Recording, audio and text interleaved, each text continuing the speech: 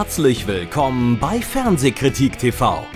Bleiben wir noch ein bisschen beim Wort Propaganda. Denn das, was die Tagesschau sich am Mittwoch geleistet hat, also direkt vor diesem Film, der gerade eben Thema war, das kann man auch zweifellos als solches bezeichnen. Also der Themenabend in der ARD war wohl ARD intern eher so eine Art Themenabend Gehirnwäsche oder ich weiß nicht genau, was das sollte.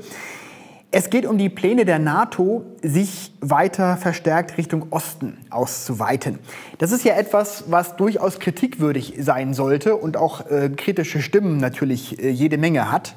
Und deswegen ist es umso erstaunlicher und umso skandalöser, dass die Tagesschau einen Bericht gezeigt hat, der zwei Minuten lang nur die reine NATO-Sicht dargestellt hat. Also keine kritischen Stimmen oder sonst irgendwas dazu.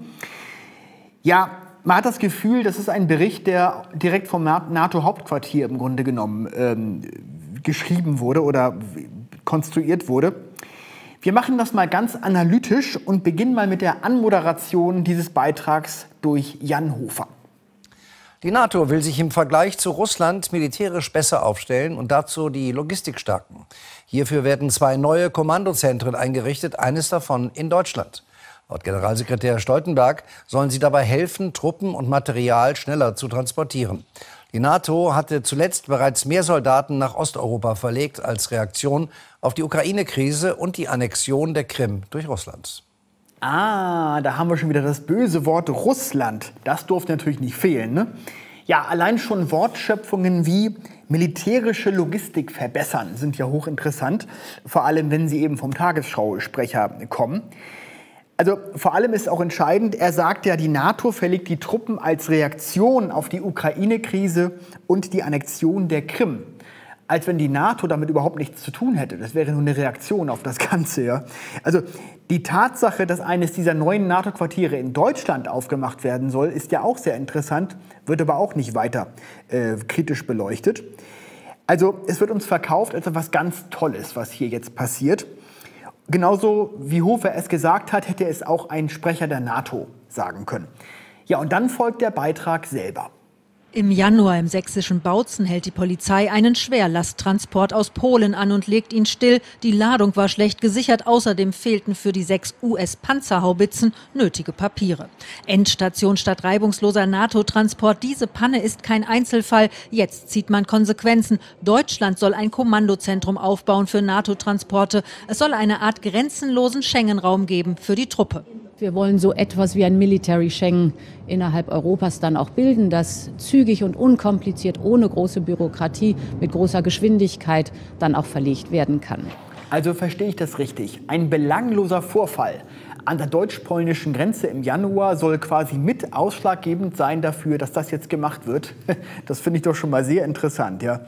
Und vor allem das, was gemacht wird, wird von der Verteidigungsministerin als Military Schengen bezeichnet. Auch wieder eine schöne Wortschöpfung. Ich meine, Schengen steht ja eigentlich für was Positives. Das ist ja der freie Reiseverkehr innerhalb der EU. Und jetzt Military Schengen. Das finde ich schon mal sehr interessant, ja. Also was quasi für Touristen sozusagen problemlos möglich ist, soll auch für das Militär künftig problemlos möglich sein. Bis an die Ostgrenze, wohlgemerkt. Spätestens hier wäre eine kritische Stimme zur ganzen Thematik dringend notwendig gewesen, aber wir warten weiterhin vergebens darauf, denn jetzt geht die Propaganda munter weiter.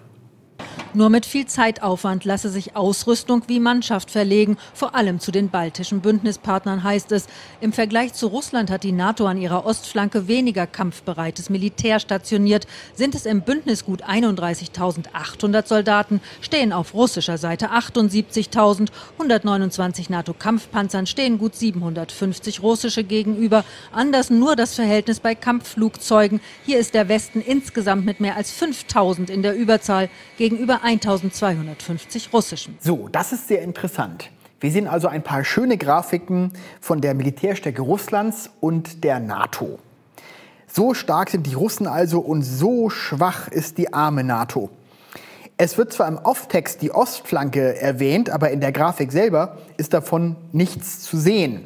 Also der unbedachte Tagesschau-Zuschauer sieht nur diese Zahlen und diese Grafiken und denkt sich, naja, wenn der Russe so stark ist, dann muss da natürlich was geschehen. Aber Man sollte sich mal anschauen, wie denn äh, Russland im Vergleich zur NATO militärisch tatsächlich dasteht. Da kann man ja auch sich Grafiken anschauen.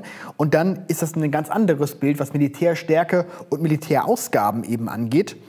Und insofern wird hier Äpfel mit Birnen verglichen, denn das westliche Baltikum ist sehr viel kleiner als der russische westliche Militärbezirk. Das heißt also, äh, man kann nicht diese Zahlen sozusagen gegeneinander setzen und sagen, guck mal, die haben viel mehr als die, wenn dieses russische Gebiet ja sehr viel größer ist und dadurch in diesem Gebiet viel mehr Militär sozusagen auch stationiert ist. Ne? Und dann kommt noch ein O-Ton, aber glauben Sie mal nicht, dass der wenigstens kritisch wäre. Die Bundeswehr müsse stärker aufrüsten, fordern Experten. Ein neues Kommandozentrum sei lediglich ein Anfang. Es ist zumindest ein Zeichen dafür, dass die Bundesrepublik Deutschland sich engagiert im Bündnis. Äh, äh, noch besser wäre es, wir würden sagen, wir äh, streben Modellcharakter an bei der Verstärkung unserer militärischen Handlungsfähigkeit. Der Chef der Münchner Sicherheitskonferenz, na super, na der hat bestimmt eine kritische Haltung zur NATO als Militärlobbyist. Ist ja klar, ne? Na, da hoffe ich doch mal, dass zumindest die Korrespondentin selbst ein paar kritische Worte findet. Die NATO wolle keinen kalten Krieg, betont Generalsekretär Jens Stoltenberg. Doch die Militärpolitik Moskaus wird hier zunehmend als aggressiv wahrgenommen. Die NATO will ihre Mitglieder schnell und effektiv unterstützen können sollte es zum Ernstfall kommen. Sie hörten Bettina Scharkus, Pressesprecherin der NATO. Ja, also sollte es zum Ernstfall kommen. Ja, welcher Ernstfall denn? Wovon redet die Frau denn überhaupt, fragt man sich. Aber schön, dass sie noch betont, die NATO wolle ja gar keinen neuen Kalten Krieg. Also man will nur das Gute auf Erden sozusagen. Das soll uns hier klar gemacht werden. Also ich will noch mal betonen, natürlich ist Russland kein Waisenknabe, das ist mir auch klar. Aber hier wäre es wirklich angebracht, einen Beitrag zu machen, der auf jeden Fall auch kritische Stimmen äh, bringt zu der ganzen Geschichte. Auch seitens Russlands, auch das wäre angebracht gewesen, aber auch das fehlt in diesem Beitrag komplett.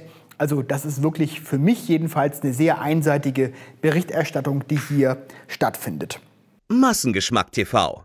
Gleich anmelden und 14 Tage kostenlos testen.